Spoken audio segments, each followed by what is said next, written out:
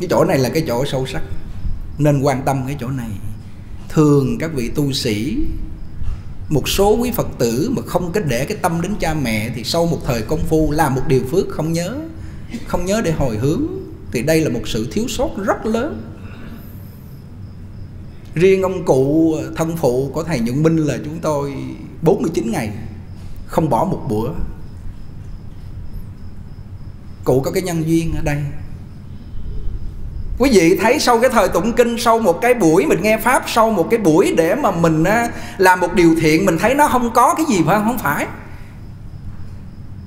Nó có một cái cái cái năng lượng từ trường của phước, mắt mình không thấy, nhưng mà cái sức ảnh hưởng rất lớn. Ngày một kiền liên mà khi mẹ đọa vào trong địa ngục rồi mà đức phật dạy là nhờ chư tăng đã hồi hướng cho bà là thoát địa ngục liền giống như là đài VTV1, VTV3 cái sóng làng sóng điển quý vị không thấy. Mà tivi nào tốt mở ra là bắt được cái đài đó liền.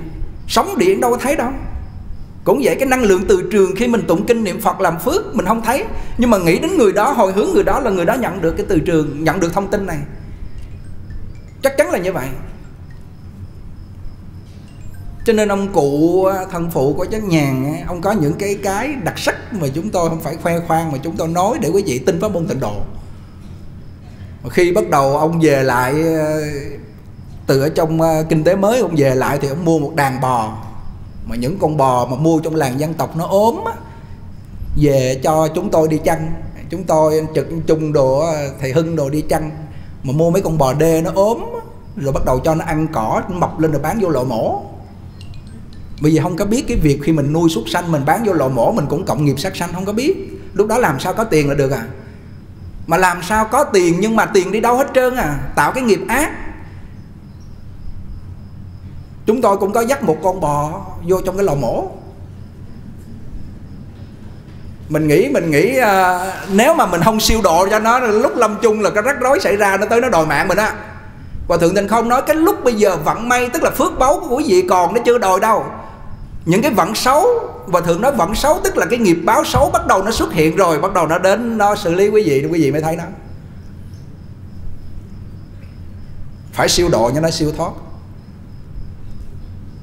Rồi sau đó rồi, ông thấy cái con bò đen quý vị, chuẩn bị bán nó thôi. Người ta mới vô đưa tiền thôi. Chưa dắt nó đi mà sao tự nhiên nó biết, nó chảy nước mắt ra. Rồi nó dậm chân dậm cẳng đồ này nọ vậy đó, nó y như là nó nó thấy một cái gì đó bất bất an với nó. Rồi dắt vô lò mổ nó chạy nó làm dữ lắm. Thì tối hôm đó đập đầu nó xong một cái lần sao? Đêm hôm đó ông cụ nằm mơ thấy con bò đen đó luôn. Nó nó nó nó, nó lấy sừng nó dí nó hút ông cụ. Ông cụ bay bay bay bay bay bay bay. Ông cụ kể lại á rồi ông bay lọt vô trong cái chùa cái đứng ở bên ngoài nó hút nó khịt khịt nó la dữ dằn luôn. Giết nó rồi cái hồn của nó mình nói cái hồn với cái, cái linh thức của nó bắt đầu theo báo án.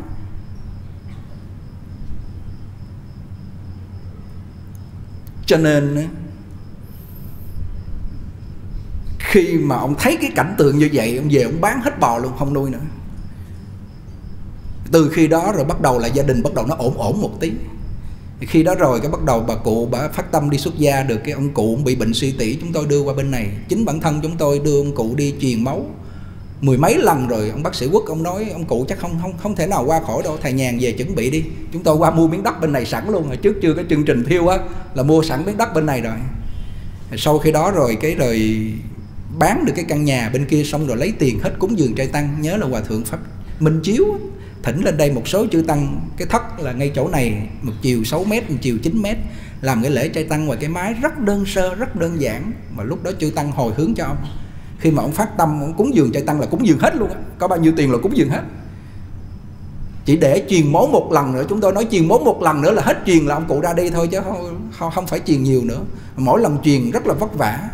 Già rồi cái ven lấy rất là vất vả. Mà khi thiếu máu rồi cái cái mí mắt bên trong nó trắng trợt môi trắng trợt đi. Không nổi lạnh đi sụm lên sụm xuống. Thì cuối cùng chúng giường trai tăng xong rồi cái bắt đầu là ông lấy cái cuốn lá thơ tịnh độ của hòa thượng thiền tâm dịch. Của ấn tổ. Ông coi trong đó, ông thấy là nếu người nào bị bệnh nan y mà nhất tâm niệm phật cầu vãng sanh, nếu thọ mạng còn thì hết bệnh. Mà nếu mà thọ mạng mà thọ mạng còn thì hết bệnh sống, mà thọ mạng hết thì đức phật đưa về tây phương cực lạc. Vì cái người mà bệnh nan y mà niệm phật cầu vãng sanh thì hợp với bản nguyện của phật. Trước khi phật đưa về á, thì Phật phải lo cho thân thân tâm người đó thanh lương nhẹ nhàng hết bệnh để Phật đưa về bên đó ông hỏi, như vậy có đúng không, thầy nhàn kêu, tổ nói sao không đúng được, ông tin đi. Lúc đó bắt đầu ông tin niệm Phật. Và sau đó rồi, người Phật tử cứ có tiền gửi cho ông ông mang xuống phóng sanh, mua cá với phi nôm ông mua, phóng sanh rồi ông ăn chay. Ông tập thể dục, đi bộ, lội xuống, lội lên tập thể dục. Rồi 10 ngày sau thấy không có, cũng không thấy truyền rồi hai chục ngày sau, một tháng, hai tháng, rồi cuối cùng gì? Cho đến 9 năm 73 tuổi, cho đến 82 tuổi là 9 năm, không có truyền máu nữa mà cái bệnh này bác sĩ nói 6 tháng là phải chết thôi, không có thể qua được nữa. Và cuối cùng phải, cuối cùng ông cụ lại sống được 9 năm là nhờ cái gì? Lắng nghe. Thứ nhất là buông xả phát bồ đề tâm cúng dường trai tăng. Thứ hai là chân thật niệm phật. Thứ ba đó là ông có tiền, ông đem đi phóng sanh. Thứ tư đó là ông ăn chay. Những cái điều kiện này hội tụ, tiêu nghiệp, chuyển nghiệp, rất khó học nhất là ăn chay nó tái tạo lại những cái máu tốt của ông. Và ông phát tâm đi phóng sanh đó là tâm từ nó quá giải những độc tố trong đó nó tiêu bệnh. Thì cuối cùng gì? Ông hết bệnh. Và cái ngày ông ra đi là đúng cái ngày 10, 19 là ông ra đi cái ngày 18 hôm nay là cũng cái ngày còn sống. Thì như vậy là cái ngày 18 là chúng tôi là chuẩn bị xe đi xuống ở chùa Linh Sơn Pháp Ấn của thầy tâm niệm để để mà mà giảng với đó. Thì hôm trước ông vẫn còn ăn một chén cháo ông hỏi, ủa, thầy chừng nào đi Nha Trang giảng vậy? Kêu là ngày 19 đi. Thì ngày 18 cái hội trường ở ngoài đây mà lúc đó chỉ được ba bốn trăm người thôi. Và cái chánh điện ở dưới nó còn rất là đơn sơ. Có cái cửa phía bên này chúng tôi đưa ông cụ ra ngoài lúc 10 giờ, lúc đó là vừa giảng chưa xong 10 giờ đưa ông cụ ra 10 giờ trưa. Và đại chúng hộ niệm, chúng tôi cũng liên tục thi phiên hộ niệm là cái phòng hộ niệm là cái phòng này. Hộ niệm liên tục cho đến 3 giờ 30 phút, chưa đến 4 giờ, thường 4 giờ là đạo tràng tan. Thì ông ra đi rất nhẹ nhàng, không qua đêm. Cái lúc mà cái nhiều ca hộ niệm trong đó, ông vô ông nói sao mà mấy bà nằm chiêu mà lâu quá, tôi vài bữa tôi đi, không với mấy bà đâu, không qua đêm đâu. Ông nói vui vui vậy mà thiệt. Thì thì cái người mà mất mà người ta ra đi nhẹ nhàng, không qua đêm, không có nằm dây dưa nhiều ngày tháng là là nguyên do gì? Lắng nghe thứ nhất là do họ hiện tại này kiên giết phóng sanh ăn chay cho nên lúc ra đi, thân thân của họ không đau bệnh, nhẹ nhàng, an vui. Thân của họ thanh lương mát mẻ và tinh thần của họ tỉnh táo sáng suốt. Đó là do hiện tại họ niệm phật, lễ phật. Quý vị tin điều nào ông cụ là biểu pháp.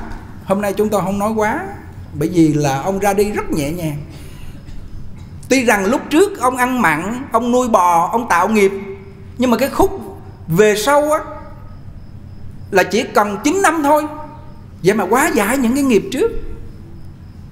Có những người lúc trước họ có tu mà về sau lúc hậu vận gần cuộc đời cuộc đời già, gần ra đi của họ họ tạo ác nghiệp cho nên thấy cái cảnh họ ra đi mới tàn tàn khốc. Quý vị nhớ có ba chị em lên cúng dường trai tăng, mà ba chị em ở sài gòn, hầu như chủ nhật nào chúng tôi giảng phát trực tiếp ba chị em ở sài gòn cũng có nghe. Con nói làm sao? Má con lúc trước làm gà, người tàu mà. Làm gà môi hết ruột ra xong bắt đầu lấy cái chân bẻ ngược bỏ vô trong cái bụng đó, khép lại. Hầu như cúng xuyên suốt 10 năm, mười mấy năm. Ba con là chuyên môn câu cá rồi đập đầu cá. Cho nên mẹ con bị bệnh gì? Ung thư tử cung. Và và đau đớn mỗi lần người ta đưa thuốc vô, người ta đưa kéo vô, người ta cắt. Bà ngất xỉu, bà đau đớn, bà la lên bà ngất xỉu giống như là con gà mà bà giết như vậy. Cái đây là gọi là nghiệp báo. Và ba con đập đầu cá, câu cá, cho nên thành ra cái họng của ổng á, lúc nào cũng có đàm mở mửa ra cả chén cả chén. Và trong cái đầu ổng cứ đau, ổng cứ lấy đầu ổng đập vô trong vách tường đập hoài vô. Bao nhiêu năm trời mà chết không được. Thì cái người mà sát sanh, không ăn chay, khuyến khích người ta sát sanh, người ta bán mình ăn, mình thấy ngon, mình vui theo thì cái quả báo lúc lâm chung mới thấy cái quả báo đó. Tàn khốc, đau đớn, không thể chịu nổi. Cho nên hôm nay chúng tôi muốn thông báo với quý vị, cái việc mà chúng ta sát sanh là một cái việc trực tiếp tiêu hao thọ mạng nhanh nhất. Vì sao vậy? Bởi vì cái mạng sống của chúng sanh, nó cũng có Phật tánh, tương lai nó cũng sẽ thành Phật. lúc chúng tôi qua Hồng Kông năm 2011 cái cô đó cô mở cái đĩa có một vị hòa thượng. Nhìn gương mặt của hòa thượng quan hỷ mà như là ngài dược sư. Mặt ngài dược sư sao ngài như vậy?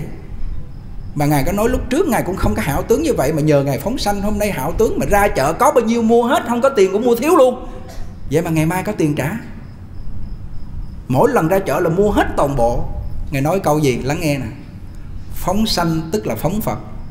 Sát sanh là sát phật. Vì tất cả chúng sanh đều có Phật tánh Tương lai nó sẽ thành Phật. Con gà, con chó, con dê, con ngựa Tương lai nó sẽ thành Phật. Nhưng hiện tại bây giờ cái nghiệp nó là xấu ác Nghiệp si mê quá sâu nặng Cho nên nó làm loài súc sanh. Tương lai nó sẽ thành Phật. Bây giờ cứu nó Tức là cứu một vị Phật tương lai Giúp cho nó để mau thành Phật. Thả nó đi. Vừa rồi mấy thầy Có một cái hồ bên cạnh khu chiên tu. 5 tấn cá. Cô đó cô nói cô bán 30 ngàn một ký, còn quý thầy mua phóng xanh bán 25 ngàn. Hỏi có bớt nữa kêu, không, bớt nhiêu đó đủ à không bớt nữa. Ngày mai thứ hai là mấy thầy mang xe xuống thả hết một hồ cá. Hôm nay chúng tôi nói cho quý vị biết là ấm tổ khuyến khích người đào ao thả cá. Vì khi mình phóng sanh như vậy, thọ mạng của mình sẽ kéo dài. Lúc lâm chung, không có bị đau đớn. Nhưng mà ấn tổ đề xướng nè cái người mà phóng sanh á, không phải là họ ngày nào cũng làm được không phải là họ có tiền làm liên tục. Nhưng mà nếu mà họ chỉ còn cần kiên giết với ăn chay thôi thì cái công đức này nó thù thắng hơn. Nếu mà họ ăn chay là họ sẽ kiên giết bởi vì bớt cho cái người sát sanh bán một khẩu phần cho họ. Cho nên thành ra ông cụ kéo dài thọ mạng chúng tôi thấy là ông cụ chuyên môn đi xuống đức với phi nôm đức trọng mua cá để thả. Cho nên hôm nay ai muốn kéo dài thọ mạng thì phóng sanh kiên giết ăn chay, đúng không? Và ai muốn liễu sanh thoát tử trong một đời này, niệm câu phật hiệu cho tốt. Niệm làm sao đừng cho nó gián đoạn. Lấy hơi thở làm sao chuỗi. Chúng tôi đọc văn sao, ấn tổ nói, cái người mà lấy hơi thở để niệm phật rất dễ nhiếp tâm người tán tâm thì tu sổ tức quán. Đức phật nói, ngũ đình tâm quán đúng không Người tham lam thì phải quán bất tịnh, Phải bố thí.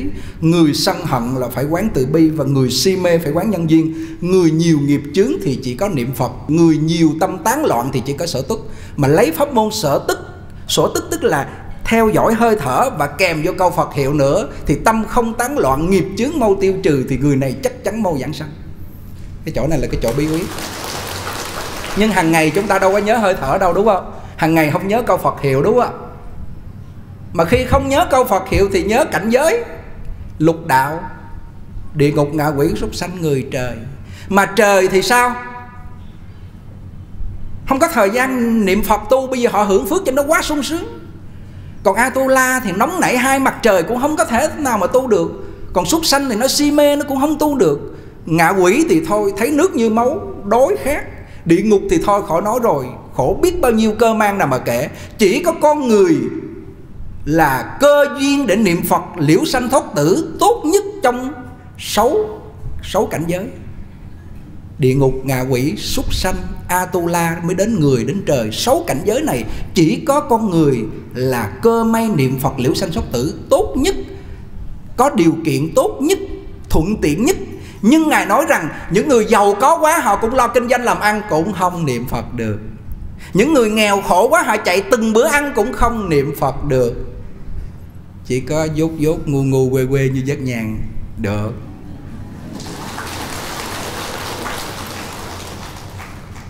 Cái pháp môn niệm phật này chỉ có hàng đại bồ tát, quan âm thế chí văn thù phổ hiền nguyện niệm phật vãng sanh tây phương cực lạc. Thượng thượng căn, trung căn là các vị tổ mã minh, long tượng trong nhà thiền ngài triệt ngộ. Ngài thiện đạo, ngoài hệ viễn.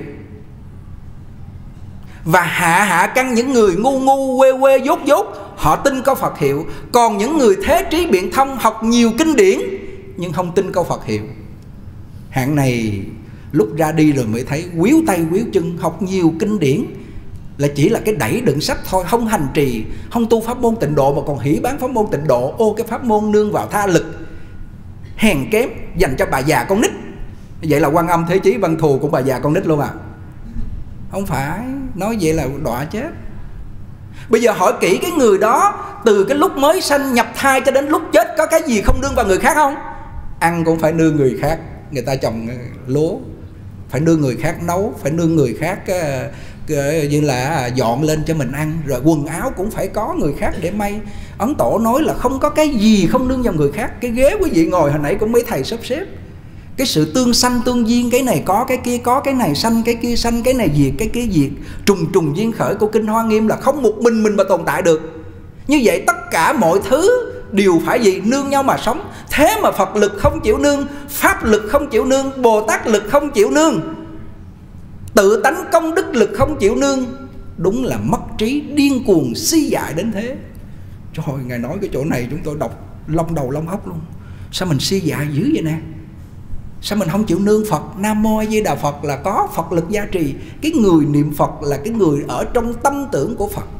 Mà cái người mà niệm phật mà ở trong tâm tưởng của phật, tức thì có phật lực gia trì. Cái người niệm bồ tát quan âm là ở trong tâm tưởng của bồ tát quan âm mà muốn ở trong tâm tưởng đó là phải niệm một lòng không loạn. Chỗ này nó hơi sâu một chút. Người nào vô cảnh giới này thấy chỗ này. Cho nên cái người niệm phật, họ chuyển thân thể không đau bệnh là chuyện bình thường. Là chuyện bình thường. Không có cái gì là ngạc nhiên. Chỉ có những người họ không niệm phật, họ không tin là chuyện bình thường. Cái người niệm phật, họ tin công đức phật hiệu, tiêu nghiệp niệm phật mới hồng tiêu túc nghiệp. Câu này nó hay. Nghiệp của quá khứ, giàu giết cha hại mẹ, như vua a xà thế. Nhưng mà cuối cùng gặp Phật Phật quy y, ông ăn năn hối cải, ông không có làm ngũ nghịch thập ác nữa. Phát bồ đề tâm hộ trì tam bảo, niệm Phật quyết định giảng sanh. Thế mà ông vẫn vãng sanh, thượng phẩm chung sanh. Kinh cho nên pháp môn tịnh độ này là tam căn phổ bị phàm thánh tề thâu mà. Cứu những người cực ác trong địa ngục, những người mà sắp rớt trong địa ngục, những người mà gọi là ngũ nghịch thập ác, cứu được. Với điều kiện họ phải tin chánh pháp. Tin có tây phương cực lạc, tin có đức phật a di đà, tin có câu phật hiệu giúp mình liễu sanh thoát tử, chắc chắn người này sẽ thành tựu. Tin không mà sao ngồi im ru hôm nay chúng tôi nói điều này là cảm ơn ấn tổ. Nát thân khó đền. Chúng tôi thường nói, lấy da làm giấy, lấy máu làm mực, lấy tỉ làm nước, lấy xương làm viết. Viết ra cái bản trường ca, tán thán ấn tổ. Bây giờ cho đến tột cùng đời vị lai cũng không hết được cái ơn của đại thế chí bồ tát này. Ngài nói từng chút từng chút trong cuộc sống của con người như thế nào gia đình đổ nát ngài nói, thiệt là một vị bồ tát không lừa bịp chúng ta vị ân sư này nát thân khó đền. Tin vị ân sư này, hôm trước ngày vu lan chúng tôi nói, thời nay tà sư thuyết pháp như các sông hằng, dĩ nhiên chúng tôi không nói tên ai. Cái này hòa thượng tịnh không hay nói. Nên chọn một vị minh sư, minh là sáng, sư là thầy thầy sáng đó là tổ sư ân quang hòa thượng tịnh không đến đài trung học pháp với ngài lý bỉnh nam 5 năm sau rồi. Ngài lý bỉnh nam mới dám đưa cái bộ văn sao này, sợ đưa liền không? Hòa thượng tịnh không không tin. Và đưa rồi hòa thượng đọc nhưng mà vẫn gì? Vẫn không làm theo, để đó thôi. Ghê không? Mãi cho đến khi giảng hoa nghiêm bắt đầu mới vào cảnh giới hoa nghiêm, thấy ngài phổ hiền, Thiên tài, đồng tử, đồng nguyện vãng sanh, cho nên lúc đó hòa thượng mới vỡ lẽ ra, hòa thượng mới tin tịnh độ. Hòa thượng nói, các vị may mắn hơn tôi lắm tôi không phải dễ gì mà tin tịnh độ, học Phật pháp 30 năm chứ không phải đơn giản dễ tin tịnh độ. Bây giờ cảnh giới tây phương cực lạc, đức phật a di đà, mắt phàm không thấy. Chỉ tin quan nghe, kinh vô lượng thọ, kinh a di đà nói thôi. Cho mắt mình không thể thấy, mà cái người mà không thấy kêu họ tin là không phải là dễ. Mà tin lời Phật, trong kinh A Di Đà nói cách đây 10 muôn ức cõi, có thế giới Tây phương cực lạc, có Đức Phật A Di Đà thành Phật 10 kiếp, hiện đang thiết pháp. Nhưng mà một số các vị pháp sư nói đó là chỉ lý tánh, là tự tánh Di Đà, Di tâm tịnh độ, chứ không có sự tướng đó là 10 muôn ức cõi, có Tây phương cực lạc, có sự tướng bên đó, họ bác sự tướng mất. Thì Phật không có nói như vậy. Phật nói là sự lý viên dung, Sự là có Tây Phương cực lạc, Có Đức Phật A Di Đà phát 48 lời nguyện. Lý là có tự tánh Di Đà, Di tâm tịnh độ, Và lý tánh mình đồng với Phật. Nhưng mà do mình trái giác hợp trần, cho mình tạo ra phiền não, bây giờ mình phải làm con người như vậy. 32 tướng tốt mất 80 vẻ đẹp không còn. Tam minh tứ trí ngũ nhãn lục thông mất hết những cái dụng của thể tánh mình mất hết rồi, do phiền não nó che lấp. Còn phật thì gì? Đầy đủ tam minh tứ trí, ngũ nhãn, lục thông, tự giác giác tha, giác hạnh, viên mãn, vô thượng, chánh đẳng, chánh giác. Ngài đủ. Tuy rằng lý mình đồng phật, nhưng mà sự tướng với dụng mình khác. Bây giờ mình phải theo phật. Mình tu theo phật tức là gì? Mình tu cái cái tánh đức này để cho nó hiển lộ. Thì bây giờ mình phải tu đức. Tu đức tức là lấy câu nam mô di đà phật thường xuyên niệm. Lấy cái thần lực chú đại bi thường xuyên niệm, một ngày tổ sư ấn quang ít nhất là 50 biến, nhiều nhất là 75 biến. Hôm bữa chúng tôi phát tâm làm 108 nhưng mà vô không nổi. Ba bốn ngày sau là dội ra quá mệt, bởi vì mình 50 biến quen rồi, bây giờ nhảy lên 100 biến làm không nổi. Cho nên mình mới nghĩ lại, mình kêu, đúng thiệt, tổ ông nói cái gì cũng là gì, là để cái căn cơ phàm phu chúng ta làm được, chứ đừng có quá quá là coi chừng có thất bại. Ngài là chỉ có 75 biến một ngày. Còn thời gian để ngày lễ Phật, niệm Phật, thì chúng tôi hạ xuống 75 là nó vừa khích, vừa thời gian mà vừa sức khỏe, mình mới thấy đúng thiệt. Tổ sư ấn quang, ngài nói cái gì đi nữa là để cho hàng phàm phu chúng ta hành. Hay thiệt là hay. Đọc vào trong văn sao rồi mình mới thấy rằng là từng chút từng chút dạy cho phàm phu. Chứ nếu mà ngài nói cái cảnh giới của ngài cho hàng phàm phu là chúng ta chịu chết. Cảnh giới của ngài là gì? Toàn tâm tức phật, toàn phật tức tâm tâm phật không hai, tâm phật nhất như, tâm không phật hiện. Cảnh giới ngài. Mà hiện đây là hiện cái thường tịch quan tịnh độ chứ không phải là hiện đơn giản như ta bà đâu.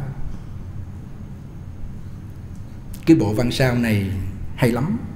Phải theo suốt đời, không bỏ. Một bộ sách này đọc làm sao cái tư tưởng của ngài vào trong tư tưởng mình hòa như nước với sữa, hai là một. Làm bắt đầu từng chút từng chút từng chút như vậy thì có sự thành tựu.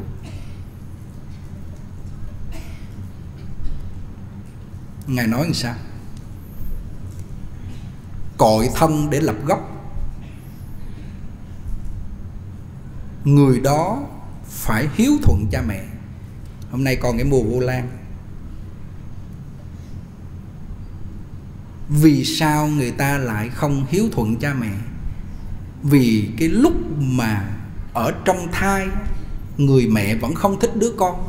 Người mẹ vẫn nghĩ sằng bậy, người mẹ vẫn tạo ác nghiệp. Cho nên oan oan tương báo, vào thai để báo oán. Nếu một người mẹ đó mà hiếu thuận cha mẹ, thì người con trong đó cũng sẽ hiếu thuận lại mình. Nhưng mà người con của mình không hiếu thuận lại mình là do mình không hiếu thuận cha mẹ, đúng không? Nhân quả. Chắc chắn là như vậy cho nên cái lý ngài nói rất sâu, tha giáo quan trọng. Cái gốc để lập thân đó là phải, người đó là phải thực hành đạo hiếu. Vạn thiện dĩ hiếu vi bổn, lần sao trăm ngàn điều thiện lấy hiếu làm gốc. Nếu bỏ cái gốc hiếu này, làm trăm ngàn điều thiện người này mất gốc như xây nhà trên cát, thế nào cũng phải sụp mà cái đạo hiếu nó nằm ở chỗ nào? Hiếu dưỡng hiếu tâm hiếu hạnh và hiếu đạo. Cái gốc để lập thân là phải làm cho được hiếu, được hiếu thuận cha mẹ. Dầu cho cha mẹ mất ngày nào cũng tụng kinh không bỏ hồi hướng. Thì quý vị sẽ thấy chí thành cảm ứng chí kính cảm thông.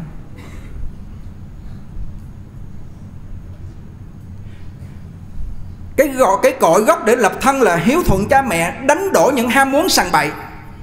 Ham muốn sằng bậy là sao? Lúc nào cũng muốn lợi mình hại người. Lúc nào trong tâm cũng thởi khởi lên tà vậy người này muốn đánh đổ thì chỉ có niệm câu phật hiệu thôi. Còn một trường hợp nữa là nhập vào cái chân như phật tánh, mà cái chân như phật tánh nhập vào đây không phải là dễ. Mình bỏ quên vô lượng đời kiếp đến bây giờ mà kêu trở về với tánh, thấy tánh nghe thì cái chuyện này chúng ta bọn phàm phu không làm được. Ông tổ nói dậu cho làm được, giống như ngài đức sơn nghe viên sạn rất cái chốc ở trong bầu bụi tre lên núi 30 năm sống với tánh nghe. Nhưng đó chỉ là ngộ thôi, chưa có triệt chứng đâu.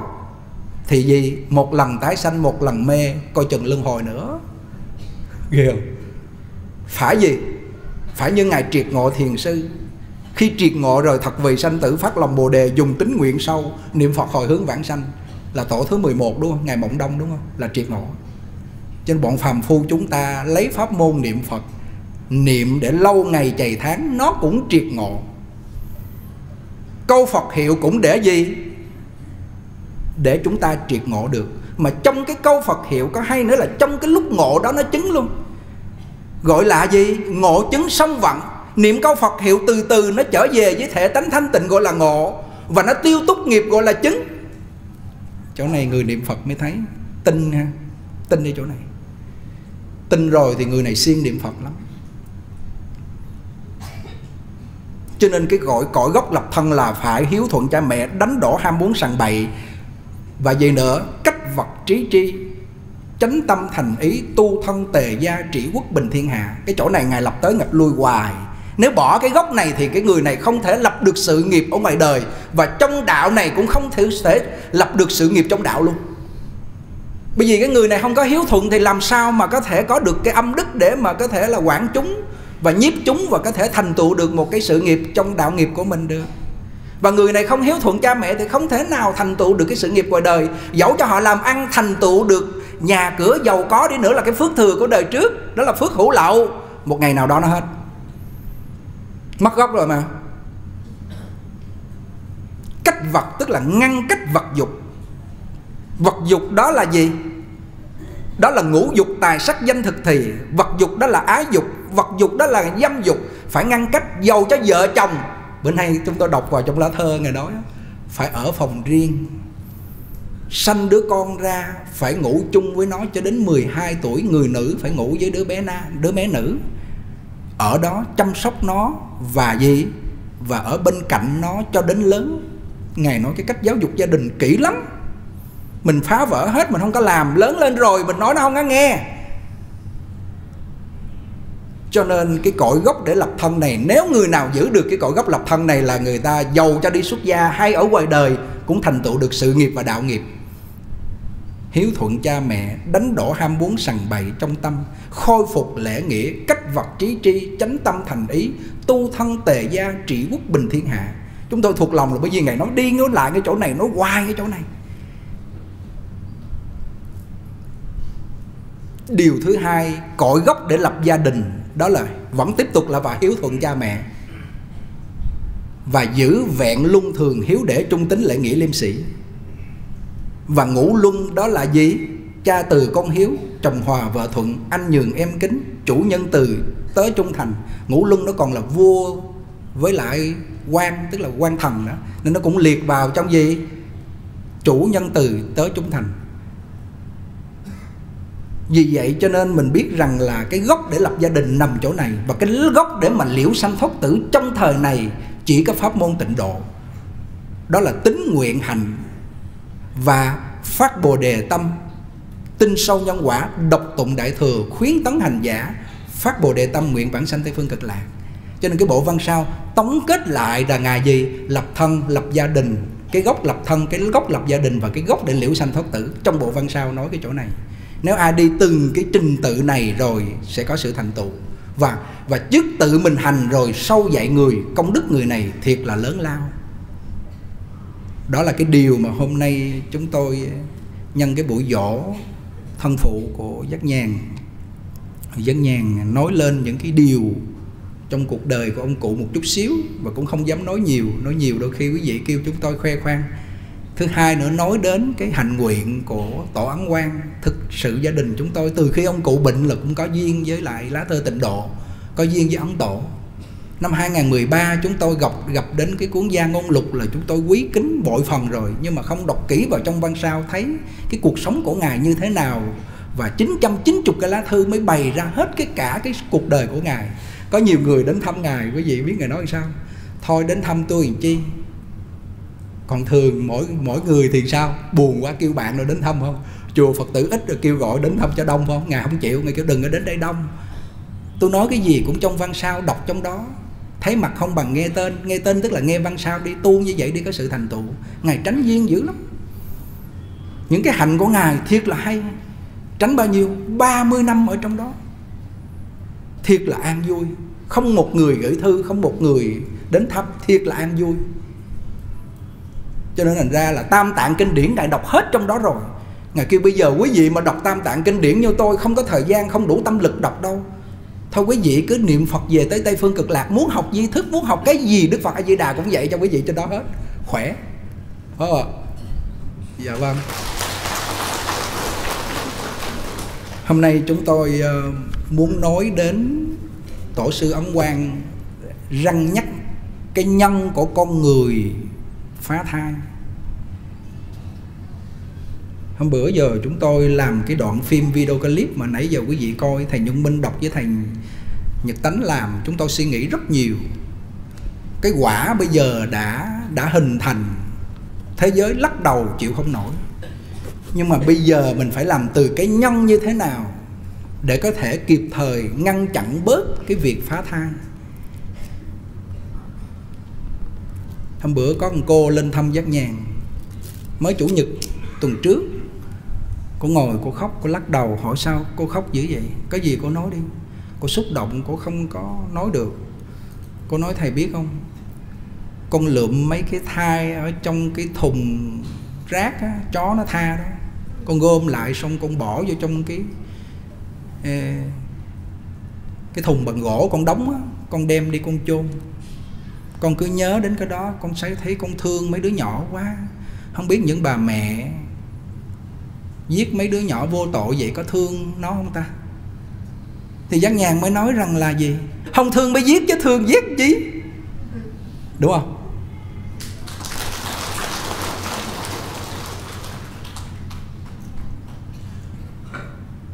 Ấn tổ nói, ấn quan pháp sư văn sao bảo thân tiết dục in 10.000 bộ, mấy cụ, mấy cô mang về cho con cái đọc. Phải phải hiểu từ cái nhân này. Bây giờ mình nói họ nghe, họ sợ như vậy. Nhưng mà riêng phàm phu chúng ta khoảng hai, ba tiếng đồng hồ, giỏi lắm, một tuần là gì? Cái lời nói của chúng tôi nó tan biến hết, không còn cái gì hết trơn. Nó ngộ cái nghiệp của con người mình. Có cái cô đó mắc cười muốn chết luôn, kẻ đừng cười nha chưa kể mà cười rồi. Trời ơi, con mang cái đứa nhỏ trong bụng này, đêm nó đập ram ram ram nó đập con nói tôi, mẹ đâu có giết con đâu mà sao mà con làm dữ vậy con? Đừng có đạp để mẹ ngủ đi. Cái ban đêm nó đạp nó không cho ngủ. Mà ban ngày thì gì? Nó im ru à. Mà ngày đi làm sao ngủ? Trời ơi, trong đó nó hành hạ cô quá. Con nói là một đứa thôi chứ không có đứa thứ hai. Năm năm sau quay lại, quất năm đứa luôn làm sao vậy? Qua cái đau rồi. Qua cái đau rồi nó quên cái khổ à. Đúng không? Con người mình bị khổ sướng nó đánh lừa. Hết khổ rồi đến sướng, mà cái sướng vui đó trong một khắc lát rồi nó cái gì? Nó cứ đánh lừa mình miết ở trong cái cõi này. Năm đứa, trời ơi. Lý do gì vậy? Chưa thấy cái khổ và sanh ra để nó nheo nhúc, không lo được rồi con cô tiếp tại lại nữa kêu thầy nghe nói chủ nhật tới đây thầy cúng ba thầy phải ờ, thầy cúng cho các thai nhi không? Kêu có. Hỏi con uh, cúng được không? Kêu được chứ. Nhiều lắm hỏi nhiều là bao nhiêu? Không nhớ nữa nhiều lắm hình như gần ba chục đứa. Có. Nhiều như vậy? Bữa nghe cô kia hai hai chục là coi như là phá kỷ lục rồi bây giờ bà ba chục dữ bà. Con đâu có biết đâu. Con tưởng là cục máu thôi nó đâu có linh thức trong đó đâu mà con thấy có vấn đề. Nãy thầy nhật tánh nói, mẹ con bỏ người, tự hư người, lúc trước chưa biết tu. Trời ơi, nó nhập vô bẫy nhảy như ngựa. Khổ biết bao nhiêu mà kể. Giờ lắng nghe cái chỗ này. Hôm nay là chúng tôi nói về cái việc này thời gian khá nhiều một chút.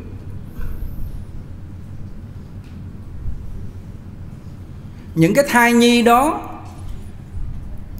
những cái oan hồn đó khi mà mình giết họ rồi, một đời, năm đời, mười đời, trăm ngàn đời, họ cũng phải theo để mà báo án. Giống như là gì? Ông triệu thố bị ngài ngộ đạt quốc sư giết ở chợ đông ba mấy đời? Mười đời. Rồi bị cái một kẻ mặt người đúng không ạ? Cuối cùng cặp ngài kanaka tâu giả cứu chung thôi là tiêu rồi. Rồi cuối cùng ngài mới viết ra cái cuốn từ bi thị sám. Chỉ có lạy sám hối để siêu thoát cho các vị hương linh oan gia trái chủ hay nhất mà riêng ấm tổ nói mình siêu thoát bằng cách nào?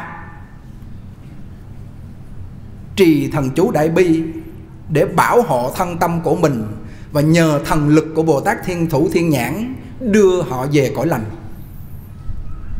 Hàng ngày niệm câu phật hiệu cho thường xuyên và lạy phật cho tốt để hồi hướng.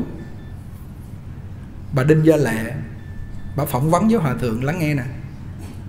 Bà nói, bạch hòa thượng, con có bốn đứa con gửi nó vô chùa rồi. Như vậy rồi nó có ở trong chùa không? Hòa thượng nó đã đang theo cô á. Bà giật mình mà kêu thiệt hả? Hòa thượng nói tôi không nói nói nói nói, nói sai cô. Không không lừa cô là bởi vì cô chưa siêu thoát nó được. Họ bây giờ con phải làm sao? Kêu cô phải chân thật sám hối niệm phật nhờ cái âm đức niệm phật này siêu thoát cho nó. Có kêu con tin cảm ơn hòa thượng. Chút nữa thầy nhuận minh đọc quý vị nghe. Giờ lấy số liệu thống kê cho nghe chút xíu nha nghe đừng có giật mình nha. Thứ hai nữa là những người mà trong này bị dướng phải, chút nữa chúng tôi nói để quý vị đừng ám ảnh. Có những người họ ám ảnh, họ chịu không nổi. Y như trong này nói nè, họ ám ảnh đến cái mức độ nào quý vị biết không? Ăn không được, ngủ không được và bệnh tâm thần luôn. Hôm nay chúng tôi không muốn hội chúng mình ở đây và trên toàn thế giới đang nghe trực tiếp mà vướng phải cái chuyện phá thai mà bị ám ảnh nhưng nếu mà không ám ảnh và không có nghĩ rằng là mình giúp cho họ và mình nghĩ họ là một, là bình thường không có gì thì cũng không được. Có đó, có vấn đề đó. Nếu sanh ra mà nuôi thì nó có khổ cực một chút, nhưng mà nó không có rắc rối về sau. Như là bỏ lắng nghe. Nước của mình là bao nhiêu triệu? Bao nhiêu triệu dân? 90 triệu đúng không? 90 triệu dân nước Trung Quốc 1 tỷ tư dân. Mình chưa được cái lẻ họ. Nước Nga 1 tỷ tư bằng với nước Trung Quốc. Có cái lẽ sâu trong không thôi, không đọc. Việt Nam là một, là 97 triệu dân. Mỹ 329 triệu. Ukraine là 43 triệu. Như vậy Việt Nam của mình cái dân số chưa bằng 1 phần 3 của Mỹ. Thế mà Mỹ đứng hàng thứ tư phá thai Mình được xếp hàng thứ ba. Thứ nhất Trung Quốc, thứ hai Nga, thứ ba Việt Nam. Quý vị cho chàng pháo tay đi. Thôi Việt Nam đứng thứ ba. Đáng lẽ Mỹ 340 ngàn Dân của họ nhiều như vậy Họ phải xếp hàng thứ hai mới đúng đúng không? Hàng thứ ba mới đúng đúng không ạ? Bởi vì dân họ nhiều thì họ tính có số lượng thai nhi chết nhiều hơn mình chứ sao là nước mình là có 97 triệu mà lại số lượng thai nhi nhiều hơn? Lý do chỗ nào? Lắng nghe nè. Chúng tôi ở bên Mỹ 2 năm chúng tôi biết. Cái người dân họ thương đứa trẻ nít cực kỳ thương. Khi sanh ra là người mẹ miễn phí hoàn toàn trong bệnh viện, họ lo một người phụ nữ. Chúng tôi nói, chết là bên, sống là sanh bên mỹ sướng nhất mà chết là việt nam sướng nhất vì sao vậy? Khi sanh ra bên mỹ là coi như là như thượng đế, sung sướng, họ lo, sửa tả giặt coi như là ở trong cái cái cái cái chỗ mà sanh là thôi, sạch sẽ, tiệt trùng, tuyệt vời. Sanh bên đó là thôi, sung sướng. Nhưng mà chết thì gì? Không được để lâu, mang vô nhà sát ướp lạnh liền á. Cho nên ai biết là sanh bên mỹ về việt nam chết là tốt nhất. Trời ơi, thương con nít mình thấy khủng khiếp luôn một người đó nếu có đứa con mà không có người chăm sóc để nó chạy ra ngoài đường, hàng xóm gọi police là công an tới, mang đứa nhỏ đi mất luôn. Kêu là cha mẹ không nuôi được, để nó nuôi. Rồi bắt đầu nó sẽ phạt cho phải biết. Còn mình có cái gì đâu mà năm bảy tuổi, chín, mười tuổi cho nó cõi trần, nó chuồng, nó chạy cung đường hết trơn. Họ lo lắng một đứa nhỏ, họ nói đây là nhân tài của đất nước vì vậy cho nên họ 340 triệu mà họ phá thai hàng thứ tư, Còn mình có 97 triệu mà phá hàng thứ ba. Thì kinh khủng không? Một ngày từ 80 đến 120 120 ca tại nước Việt Nam. Một năm như vậy là đến hơn 300 Bữa nay nó thực ra chắc là chưa nói những cái chỗ mà họ làm không đăng ký Hoặc là chưa thông báo chính thức Thì chúng tôi nghĩ chắc cũng 500 ngàn năm. Kinh khủng luôn, Không thể tưởng tượng được. Cho nên thành ra, lắng nghe nè. Cái nhà đó, đất nước đó, xã hội đó, có yên hay không hãy nhìn vô lò mổ. Nếu lò mổ súc sanh, có kêu than, có rên xiết có chết nhiều thì đất nước này, xã hội này, căn nhà này bị lộn xộn vì chúng sanh này có sự đòi nợ, báo oán đó là nói súc sanh nghe nhất thiết chúng sanh vô nghiệp sát, thập phương hà xứ động đao binh, gia gia hộ hộ đồng tu thiện thế giới hà sầu bất thái bình, thế giới nào chẳng được thái bình tất cả chúng sanh không có nghiệp sát. Nghiệp sát trong lò mổ, nghiệp sát ở nơi bệnh viện, nghiệp sát ở những cái nơi phá thai. Thì mười phương thế giới nào có đau binh? Gia gia là nhà nhà người người cùng tu thiện, biết là sát sanh giết con mình, tà dâm, trộm cắp, nói láo, uống rượu, là ác, không làm là thiện. Thì thế giới nào chẳng được thái bình? Cái gốc là chỗ này. Năm giới mười thiện làm cho bằng được. Gia đình này bình yên lắm quý vị ạ. À. lắng nghe. Hậu quả của người mẹ phá thai. Não phá thai để lại rất nhiều hậu quả về sức khỏe và tâm lý như vô sinh. Biết vô sinh không? Vô sinh không phải là giảng sanh được uh, vô sinh không phải là coi như là liễu sắc thanh tử không? Vô sinh, tức là không sinh nở được nữa. Mất cái phước để sanh rồi. Hôm bữa có một cô cô vô, cô nói, thưa thầy, con bỏ năm cái thai, cho đến bây giờ con muốn sanh con thì con muốn sanh bốn cái thai sau, cứ có tim thai rồi hư hư bốn cái luôn là sao? Giác nhàn nói, cô hết phước sanh cho cô bỏ năm cái rồi, hết phước sanh rồi. Với hai nữa là nó có vấn đề nữa nè hôm nay không phải là nói cho mấy bà già không, mà nói cho tuổi trẻ, mà không phải mấy bà cụ mà 50 năm mấy tuổi rồi không sanh nữa là mình chỉ nghe vậy. Không thôi đâu ngang, về nói con cái ngang, về nói cháu chắc ngang. Cái lứa tuổi mà trong này họ nói phá thai nhiều nhất là từ 15 tuổi đến 19 tuổi, sinh viên. Ghê không? Rồi từ 19 đến 49 tuổi, lắng nghe nè. Bây giờ mình nghe như vậy rồi, bắt đầu chiều nay mình cúng mình biết thương các vị con của mình dầu cho mình không có đứa nào bây giờ họ về đây quá trời đông mình cũng hồi hướng. Lúc quý thầy cúng mình làm sao? Ngồi niệm phật. Bây giờ quý thầy cúng mình cũng không biết cúng theo, mình đâu biết kiểu nào đâu. Giác nhàn cũng không biết, ngồi ngơ đũa, không biết người nào cúng đâu. Thì mình làm sao? Ấn tổ nói, niệm phật xe sẻ. Nếu mình niệm phật mình la lớn rồi mình la không lại, cái lo nó lớn quá rồi mình la chập mình khang cổ à. Bây giờ mình niệm thầm xe sẻ.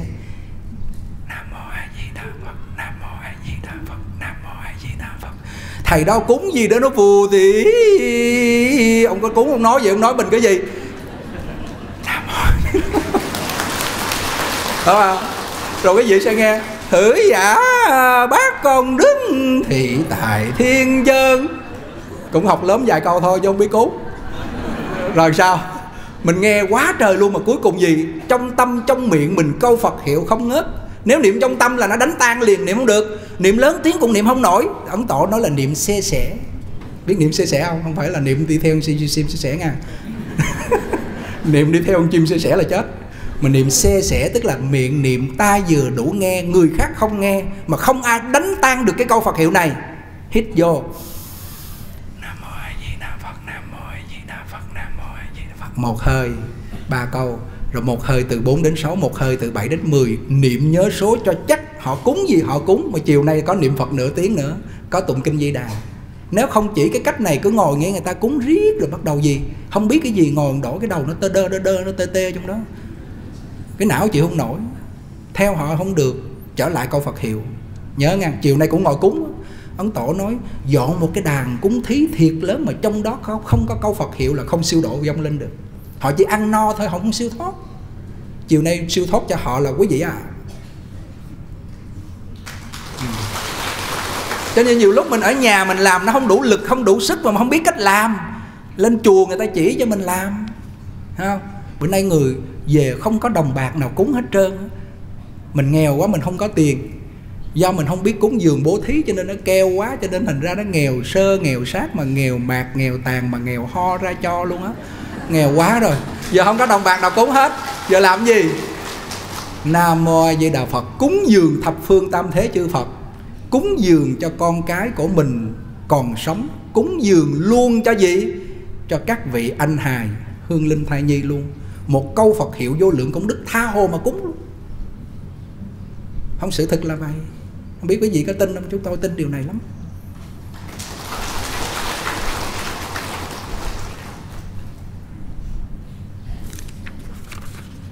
Cái này sáng mới có 2 giờ chúng tôi coi lại trong cái video video hồi sáng quý vị coi á. Tuy nhiên mình giật mình, kêu sao mà tội mấy đứa nhỏ dữ vậy ta? Mà không những tội cho mấy đứa nhỏ mà tội cho cái người mẹ nữa. Lắng nghe nè. Hậu quả phá thai để lại rất nhiều hậu quả về sức khỏe tâm lý như vô sinh, nhiễm trùng, trầm cảm, thậm chí có thể dẫn đến tử vong tử vong, tức là người nữ có thể chết. Nếu nữ giới không có ý thức được những tác hại của việc phá thai, thì nguy hại vô cùng. Rối loạn tâm lý nạo phá thai ảnh hưởng đến tâm lý. Việc nạo phá thai không chỉ gây ảnh hưởng đến nghiêm trọng về sức khỏe, sinh sản, mà còn lại là những những sang những sang chấn tâm lý. Rất khôn lường đối với nhiều phụ nữ việc phá thai là một điều không mong muốn là chấm dứt mạng sống của một cơ thể nhỏ bé nên họ cảm thấy buồn bã tội lỗi. Khoảng 5 đến 30% phụ nữ sau khi nạo phá thai có biểu hiện trầm cảm, khí sắc trầm buồn, cảm xúc hối tiếc chán nản, đôi lúc có hoang tưởng tự buộc tội, những triệu chứng trầm cảm sẽ trở nên nghiêm trọng hơn nếu việc nạo phá thai không phải do ý muốn của người mẹ. Điều này làm tăng nguy cơ tự sát ở những người phụ nữ sau khi phá thai. Chúng tôi thấy, chúng tôi thấy có một cái điều quả báo sâu thẳm lắng nghe này. nguyên lý mạng đền mạng. Khi mình giết họ họ bằng mọi cách phải giết lại mình. Để gì? Báo thù. Đúng không? Nguyên tắc nó là như vậy. Đến nỗi ngày lý bỉnh nam nói, ăn một miếng thịt rồi cũng phải trả, ăn miếng trả miếng. Nhưng mà người nào giỏi á, có phước báu thì ăn miếng trả miếng, chứ ăn một lạng phải trả ăn con. Nghiệp báo nó có cái tích lũy về thiện báo, nó cũng có tích lũy tỷ lệ tăng quả báo ác cũng có tỷ lệ tăng như thế. Quý vị thấy ờ, ngài ngộ đạt ngài đau khổ đến mức độ mà ngài viết ra cái cuốn từ bi tỷ sám để sám hối. Là ngài sợ lắm rồi. Cái đó là chỉ một người thôi, còn cái cô kia ba chục người nữa thì thôi rồi. Thì bây giờ phải làm sao? Khi mà bị vô cái tình cảnh này, bây giờ phải làm sao quý vị? Rất nan giải hòa thượng tịnh không nói. Họ chưa đến kìm quý vị, họ chưa đến tìm kiếm quý vị là cái vận may quý vị còn. Phước báu quý vị còn. Cho nên cái từ trường phước báu đó đang bảo bọc quý vị, họ chưa làm được cái gì cái gì hết. Họ đợi đợi cái lúc mà quý vị sa cơ thấp thế, phước báu bắt đầu cạn mỏng, quý vị đang hưởng phước, quý vị tạo nghiệp ác rồi, bắt đầu là gì? Họ ồ vô. Con cô bên Canada cổ về. Cái năm đó chúng tôi thỉnh thầy Chí Thoát lên đây tụng kinh vô lượng thọ cô nói con có hai đứa con ở bên Việt Nam. Phá một đứa qua Canada, gặp cái ông người Canada con ở chung với ổng. Không hiểu sao gia đình con tan nát hết trơn. Con quýnh hai đứa nhỏ, quýnh đã rồi bắt đầu cái lúc mà đánh nó là ghét, nó ghét như căm thù luôn á, ghét giống như là mình giết nó được. Mà khi đánh xong rồi một cái thương nó khóc, ôm nó khóc. Cứ vậy hoài, giống như người khùng khi con nghe thầy giảng xong rồi một cái con về, con phát tâm phóng sanh ở chùa Tiên Châu ở dưới Vĩnh Long. Rồi con lên đây con cúng dường trai tăng, con làm phước báu, con niệm Phật. Nhất là con sám hối. Con nghe thầy nữa cứ là lúc trước là niệm A Di Đà Phật. Con lại con sám hối, tha thiết. Bây giờ gì? Nó bớt cái tâm trạng đó. Rồi hai đứa con con bây giờ nó ngoan lên gia đình, con thuận thảo, con về đây con cảm ơn thầy. Sao nhân cái tiện mà thấy thầy chỉ thoát ông tụng kinh ở đây, con hoan hỷ quá chừng luôn. Gặp cổ ngay cốc cổ lộc bảy tám năm về trước nói hôm nay không phải là chúng tôi hù dọa hoặc làm cho quý vị để mà à, rối loạn về tâm lý, mà chúng tôi nói để quý vị có phương pháp hóa giải. Mà phương pháp hóa giải cho những người con của mình khi hài nhi đó mất là lạy sám hối là đệ nhất. Một ngày làm sao được 100 lạy? 100 lạy thực sự sáng nửa tiếng, chiều nửa tiếng thôi, không có nhiều. Tụng được 21 biến đại bi. Nếu nếu người nào theo ấn tổ 50 biến thì càng tốt. Tối đa là 75 biến đi thời gian bao 24 tiếng đồng hồ đâu, mình tu đâu có bao nhiêu đâu. Còn sáng 2 tiếng, chiều 2 tiếng giải quyết được vấn đề. Nếu người nào họ tu thêm thì càng tốt. Chỉ có cái công đức tu để hóa giải, còn cái việc cúng dường cho họ, thọ hưởng, có người cái tâm họ quan hỷ, cái định lực của cái thầy cúng nó sâu á, họ hưởng được tháng, hai tháng, năm, hai năm rồi cũng phải đối lại. Còn câu phật hiệu mà họ được thọ dụng rồi á, siêu thoát. Cái chỗ này ông tổ nói, nếu cúng mà không có câu phật hiệu hồi hướng cho họ thì cái này chưa đạt được tiêu chuẩn. Chứ sao? Như vậy hôm nay đồng nhân của chúng ta đến đây cộng tu để hồi hướng cho họ. Không những hồi hướng cho những người con của mình, mà mình hồi hướng cho tất cả chư vị ở trong này. Họ đang để gì? Đợi cái tâm từ tâm tình người mẹ nghĩ đến. Hôm bữa chúng tôi có giới thiệu cái cô phá 15 cái thai bên Trúc Phước về đây bữa nay vẫn còn không? Con nói là con xuống chùa Di Lặc, con cúng ở dưới đó. Mấy thầy cúng ở trên đó tam thời hệ niệm xong nói là, cái cô này có nhẹ bóng vía lắm á, có những người nào mà đủ duyên á, đứa con nó vào để mà nó nói chuyện. Đúng thiệt vừa hai ngày sau cái là bắt đầu vào nói y chang. Mẹ bỏ con trong thùng rác chó than sao nó y chang hết trơn. Trời ơi, nó kiểu đáng lẽ là 15 đứa này phải giết mẹ cho tan xương nát thịt như con nhưng mà nhờ mẹ đi làm phước, mẹ có làm phước, mẹ có tu hành. Mẹ nghĩ đến tụi con cho nên thành ra con tha nha. Nó còn hăm dọa bà nữa chứ. Cái người mà họ mất mà mà thọ mạng họ hết á ví dụ họ đau bệnh đi, thọ mạng họ hết á, thì cái chuyện đó rất là bình thường. Mà khi mất mà họ muốn, không muốn mất mà để mà họ bị mất, là bị người ta giết á, thì cái cái tâm thức họ nó linh linh tức là cái tâm thức họ nó oán hận rất là, cái tần số họ rất là mạnh. Nếu mà tâm mình không vững đụng một cái là mình gặp nạn liền tức khắc với họ. Thì bây giờ phải làm sao? Và thượng tịnh không nói. Chỉ có niệm phật thường xuyên nghĩ đến họ.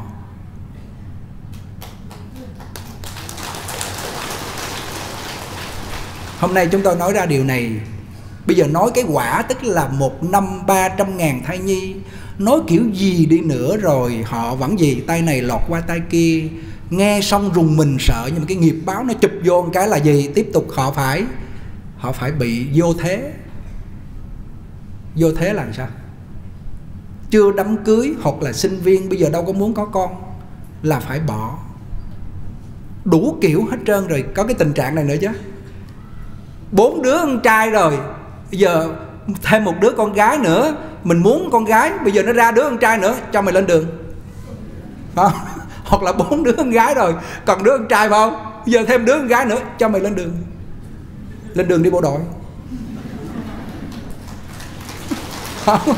Thì cái cái tình trạng này có cũng khá nhiều. Có cô phật tử. Chúng tôi đáng tán thán cô này. Sanh ra bốn đứa rồi ông chồng ông nói nếu đợt này con gái nữa là bà làm gì bà làm đi tôi không biết nữa đó.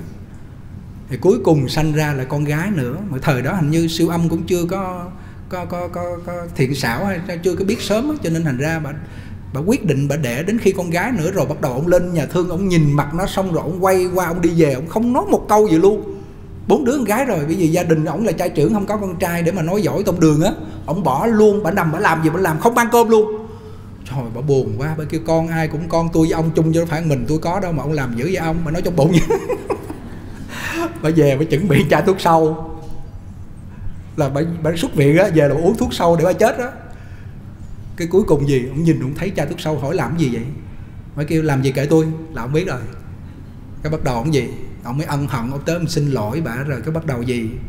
Ông đặt cái đứa nhỏ thứ tư là, là tên cưng lúc đó ông mới quay lại ông thương.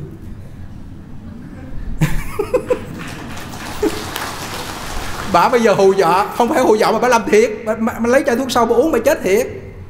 Nó kia con hai người cho phải mình tôi đâu mà ông làm dữ vậy? Bây giờ lắng nghe cái người ở trong cõi này có thân là tạo nghiệp. Người ở cõi cực lạc có thân là người ta không tạo nghiệp mà có phước báu. Họ sanh bằng cái gì? Nguyện lực của phật a di đà là quá sanh trong hoa sen. Còn mình là gì? Còn mình là tái sanh hoặc là đầu thai vào trong bụng mẹ, chuyển thân vào trong bụng mẹ, hai cái thai này khác hẳn vô cùng. Một cái thai là họ tích lũy thiện căn phước đức nhân duyên, họ niệm phật cho nên họ vào trong cái liên thai. Đức phật a di đà dùng thần lực nhiếp họ họ về trên đó. Họ sanh ra là được 32 tướng tốt 80 vẻ đẹp, thân y hệt như đức phật a di đà và cái thân này là gọi là tử ma chân kim và sống đến khi thành vô thượng chánh đẳng chánh giác chứ không có chết nữa cho nên về trên đó là chỉ một đời là thành phật thôi, giống như nhất sanh bổ xứ vậy đó. Như Bồ Tát nhất sanh bổ xứ là về bên đó là một đời thành Phật thôi, Không có chết, đi sống lại giống như chúng ta. Còn ở trong này thì sao? Vô trong cái bào thai, Họ thích thì họ để, Không thích là gì? Xử liền. Nhưng mà nhìn kỹ lại á, Hôm nay mà có các thai nhi hãy lắng nghe chỗ này. Thọ mạng của mình ngắn cho nên mình vào cha mẹ mình ngay cái thời điểm đó họ không muốn. Mà mình lại xuất hiện, cho nên thọ mạng mình ngắn mình mới vào thời điểm đó. Thọ mạng, do thọ mạng của mình ngắn không được làm người, chỉ được nằm trong bào thai, cho nên mình trách mình đừng trách cha mẹ nữa. Nhưng mà ít ít có thai nhi là bằng lòng chuyện này lắm. Họ đâu có biết rằng là có thể là họ họ họ có thể là chỉ sống trong thời gian năm bảy tuần đâu, hoặc một vài tháng đâu, họ không nghĩ như vậy. Chứ giờ mình nói họ là họ biết như vậy, chứ mà họ vẫn chấp nhận. Nhưng mà chính thực ra cái thọ mạng họ nhiêu đó à. Nên có cái cô đó cô nói là cô muốn lớn lên nữa là con không có chồng. Cha con cứ ép có chồng. Con gì cha, con thương cha quá, con phải có chồng. Nhưng mà con nguyện trong lòng là khi mà có chồng là cha con chết là con phải đi tìm một cái chỗ nào đó con an dưỡng, con tu hành. Cho nên con sanh một đứa thôi. Còn đứa nào mà thứ hai ra là con diệt hết. Rồi, con đặt đứa đầu tiên là bé ân, là nó có ân đức với con. Đứa thứ hai con diệt, đứa thứ ba con diệt, đứa thứ tư con diệt. Cuối cùng gì? Không dám ra nữa. lúc trước con đâu có biết đâu giờ sư phụ nói con mới biết. Con định đi Canada và đi Canada và cuối cùng con phải ở lại con cúng cho nó. Ghê không? Chúng sanh tạo nghiệp không thấy đó là nghiệp ác cho nên tạo hoài nghiệp ngập trời mây. Nếu không gian nếu trong kho, hư không này mà có chỗ chứa thì nghiệp chúng sanh từ vô lượng đời kiếp đến bây giờ không có không có chỗ chứa nó có hình tướng nếu mà nghiệp mà có hình tướng thì không gian này cũng không thể nào chứa nó nổi. Ghê chưa?